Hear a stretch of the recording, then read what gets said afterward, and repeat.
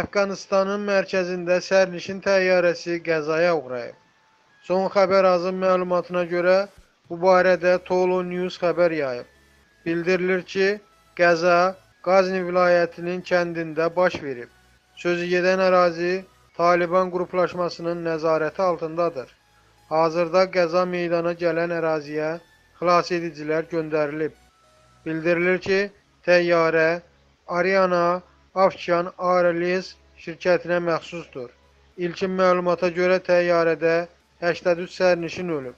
Ölənlər barədə və hadisənin detalları barədə məlumat yoxdur.